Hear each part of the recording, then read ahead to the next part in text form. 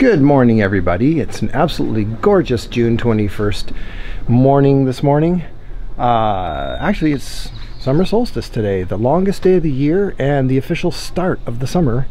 And we are just on our way out in the Panamera Hybrid to go to the VIMC, that's the Vancouver Island Motorsports Circuit, for a day at the track with the Porsche Club and uh, we're also going to test out some really interesting cars that they have at the track that you can actually take on the track yourself with or without an instructor. So let's get going. For those of you who don't already know this, the Vancouver Island Motorsports Circuit is located just northwest of Duncan, BC. And it's literally like when I say north, I mean it's literally just out out of the uh, downtown core of uh, Little Duncan, BC. And from Victoria, you take the Trans Canada Highway, TC1, which is what we're going to do right now because we're in Victoria, actually on Bear Mountain, which is just west of Victoria. And if you were coming on the ferry from, say, Nanaimo, like Horseshoe Bay to Nanaimo from the mainland or something like that, you would drive south from Nanaimo which is about a half hour drive to get to Duncan whereas it's about a 45 to 50 minute drive to get to Duncan from where I am here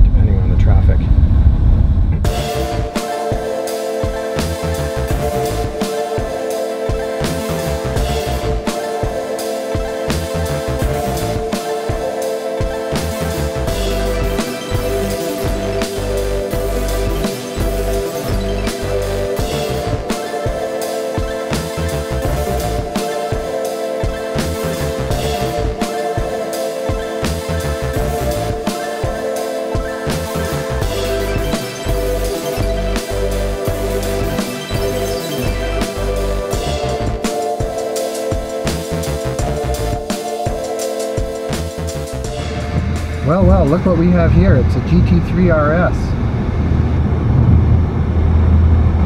One of our Porsche Club uh, members has this one.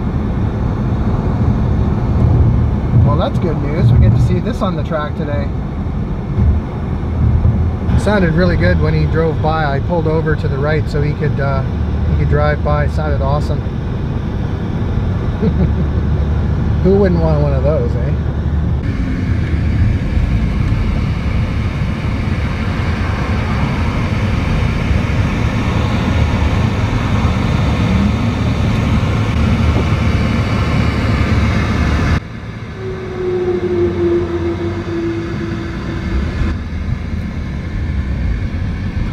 Porsches, Porsches all day here. That's the Porsche Club. Oh, we got an autocross course set up. That means I can do some autocrossing today maybe. Cool. Now as usual, I've got way too much stuff crammed into the car, so I don't, I can't take it all at once. I have to take a couple of trips. But you see how much room there is in here. I've taken out the cover just because I was carrying a bunch of uh, camera gear and stuff and I haven't bothered putting it back in but I got my helmet in there camera bags and all the rest of it. And I'll just take that out. Yeah, well next time. So this is one day one day old eh? Yeah. Don't put me on film though. All right. Not that type of guy. John is That's okay. Looking lucky. Ah, looks beautiful though. did, did you or, did order this spec? Yeah, yeah. Nice. How many months was it to get it? Oh, it was quite short. It was the last allocation. They they just got an extra one. Decided to call me. Or I'm lucky maybe. I'm lucky maybe. Yeah, yeah. What idiot's gonna buy this?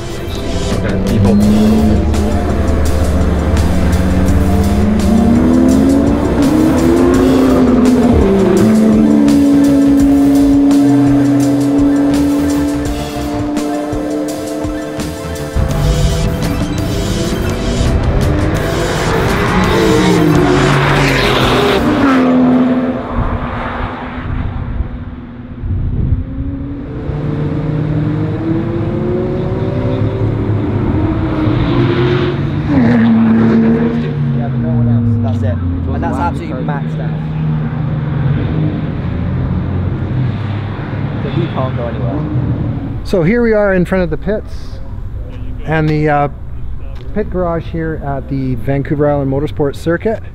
Absolutely perfect day today. Behind me you can see there's a line of Porsches coming around. The instructor, that's Brad actually, you might remember him from a previous video. That's Brad, uh, lead instructor there, taking the guys around on a circuit. Looks like they might be. Oh, yeah. Aha. Well, well. They all use radios so they can uh, coordinate everything. They're talking to each other. And they're basically doing their orientation right now, but we are going to try a few cars out. Uh, they've been kind enough to let me uh, sample some of the cars today. So these are the track cars for the motorsports circuit. You can actually rent all of these cars and drive them on the track here. We'll talk a little bit more about that later with Adrian Horne, the head instructor. He's going to take us around the circuit and look at everything. But uh, you can see what we've got here. Alfa 4C. Here's a final edition Mitsubishi Evo, Evo, pardon me.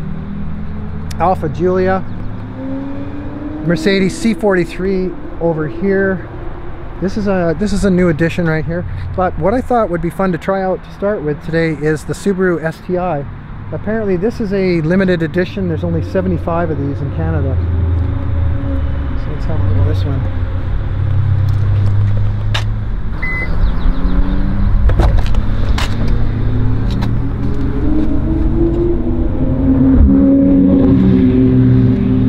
Oh, it's hot in here. Nice leather interior. Ooh, nice Recaro seats, of course. Four doors. Let's hop in. Okay. Six speed. We're going to move this over to the pit area right now, so I'm just going to shut it off. Shut the camera off while I'm doing that. Oh yeah, this is the RA edition, by the way, STI. So that's the limited production. 75. This one is number 7 out of 75. All right, looks like we're ready to roll. Going out with group two. Let's get it fired up. Got to remember to put my foot on the clutch because it won't start. Getting so used to my automatics.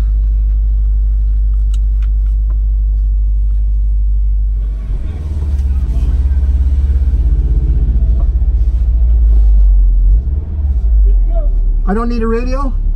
You'll be totally fine to stick up with the group. Okay.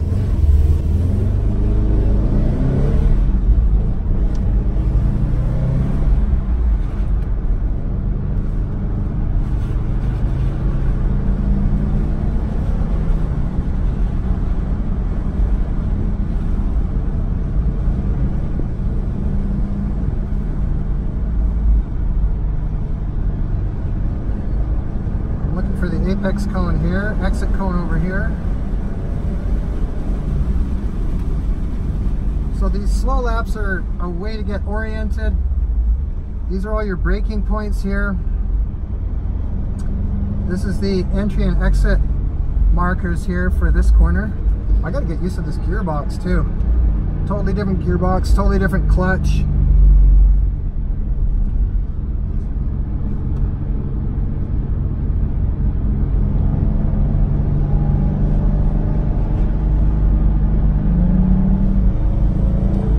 Second gear into third gear. This is my first drive, my first time driving an STI. I'm really actually pretty chuffed about it. It's pretty fun. I like the idea of just trying different cars because you know each car is, has different characteristics, and it's probably going to teach you more than uh, just driving one car all the time.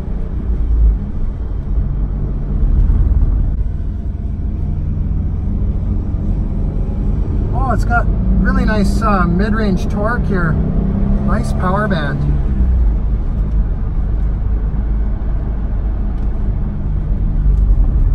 Back in the second gear.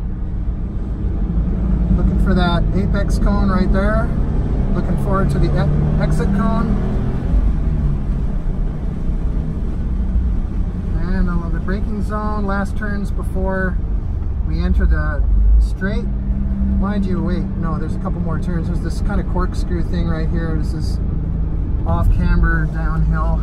This is off camber. Nice suspension on this car. I like it. Wow, it's actually pretty, it's really smooth and really flat.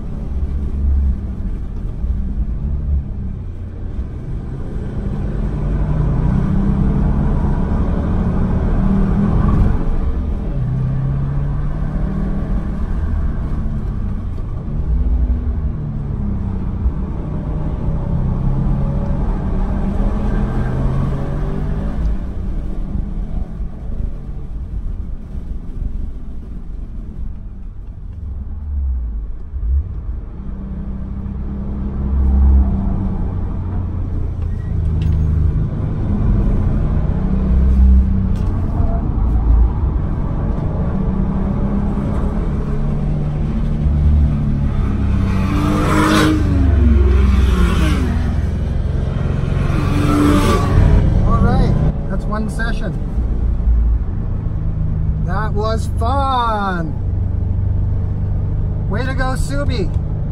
Um, power band's a little bit short for me um, because it only has about a 6500 maybe 6700 red line by the looks of it. And um, on these short straights second gear isn't quite enough to get the job done so it's not as efficient as it could be. It's kind of like my Daytona. My Daytona's limited in revs like if I had a GT3 RS or a or, or a, something like that that could rev up to 9,000, I wouldn't have to shift. Plus, it makes more and more power, so you're limited a little bit by some of the gearing choices. Um, seats are really good. Brakes were really nice, really easy to use.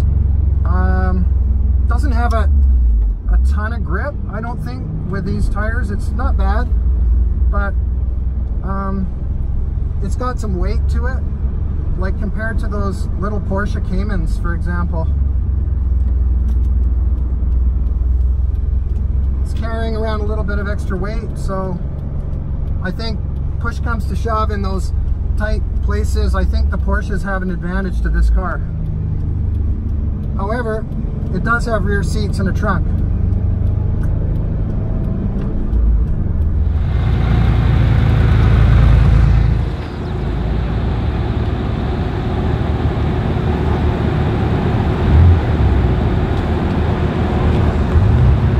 All right, here's Group A uh, gridding up again to go out. I was in Group B, so I'm gonna go and find another car I'm told I can go and grab the Mercedes. I think it's a C43, so let's go have a look what they've got there. There's an Alfa.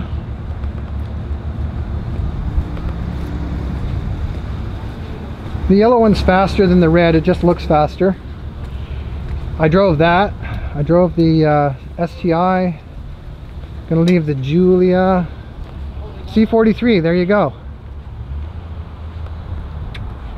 Apparently these are fairly new cars to the track. We'll get the details from Adrian a little bit later, but um, I can open it without uh, scratching it with all my cameras in my hand. I gotta figure out, I'm gonna just cut for a second, excuse me. This is your nice standard cushy Luxo Mercedes interior. They're very, very nice, comfortable cars. That's a beautiful looking interior. I like the uh, seat extensions here. That's really nice for you long-legged people. which I sort of happen to be. I have I have an issue where my uh, my knees come up uh, if I'm close to the pedals and everything. My knees come up high and then I hit the bottom of the steering column a lot when I'm driving certain cars, and so I have to get used to that. some of them you can adjust, and some of them it's just you just can't. You can't get enough adjustment on it. And this one has a roof, so I might be able to attach a camera to that. That's what I'm going to do. All right, now I'm trying the uh, AMG C43. Super luxurious. It's got a whole bunch of drive modes. Hey, yes please. For yourself, sir. So Thank you're actually you. going to go in the far group, which will be group one. Hey, can you tell me? Oh my God, get this off here. Uh, what the driving modes? Yep. What do I want? Uh, I would put it in at least sport. Sport plus is just going to sharpen everything just a little bit more. Um, I would personally keep it in sport. Sport. And that opens up your exhaust valves, gives you the first mode of suspension stiffness. Okay. And if you do want, you see by that button down there Yep. below those dynamics, if you hit that again, that'll be stiffer suspension. If you hit that M, that'll put you into manual where you can play with the paddles if you like. Oh wow. Yeah, I do want pedals. It uh, This car does have quite the exhaust crackle as soon as you shift anything above like 4,500 RPM. It is, it's something. It's a fun car. You're getting me all excited. Okay, Oh. Thanks. Won't do it too much. Don't break our car. That's what he said. He's trying to tell me. I don't want it in automatic mode. I want it in manual mode. Ah, yes. It's gone into first gear. I'm going to use the paddles on this baby. That'll be fun. I'm kind of interested in driving the, the paddle shifter. I assume it's an automatic transmission, but because I was because I was just driving um, a standard, so it kind of keeps me in the same mode of thinking, right? You know, kind of downshifting for the for the corners, and I it it helps you prepare for the corners when you think about which gear you want to be in. Hey everyone, just do a radio check. Uh, wave through the windshield or, yeah, great. And Gord, yep, okay, thank you. So you'll hear, And Mark, hey Brad, yeah, okay. yeah, you'll hear Brad talking on the radio. The exit cone as we come down, look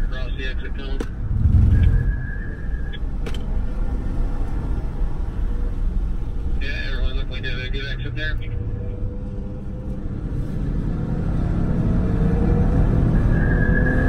Trying to straighten braking for 15. Uh, and as we get on the we're careful as we're pairing that with the movement of the steering wheel.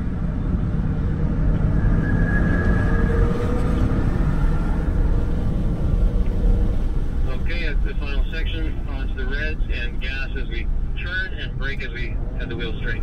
Okay, Doug, your turn to pull over. And again, just remember you're coming back in, in front of the Mercedes. Okay, everyone else going through.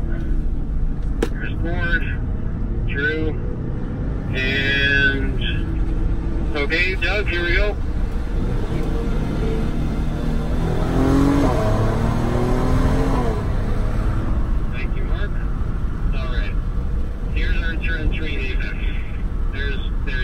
to the edge of the river, almost board the ground. Um, so this uh, turn get even closer next time. Watch the brakes for turn in, constant speed here, five is tighter. Watch, you slow it down a bit, I even unwind slightly, and then get much tighter in the steering. Then we can even accelerate before the 6-7, try to get as straight as possible. Uh, constant speeds in the middle of the chicane, good exit, perfect exit, excellent. Lots of braking for 8 for the apex here. Try to get that good. And look at straight line for a moment. The brakes for the tall cone. On the gas right to the exit line. Good, very good.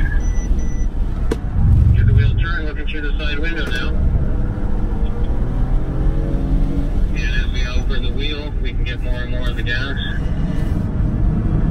Trying to straighten it for braking 15 there.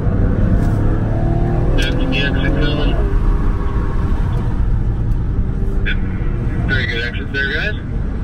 Okay, straight line braking. There we go. Well, yeah, it's a it's a nice uh, nice quick sedan. Uh, definitely not as fun on the track as the STI.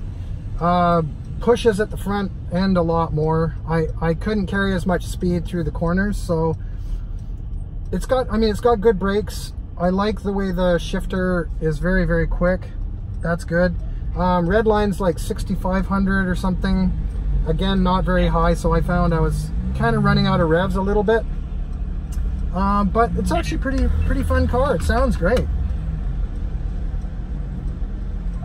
Nice sporty car.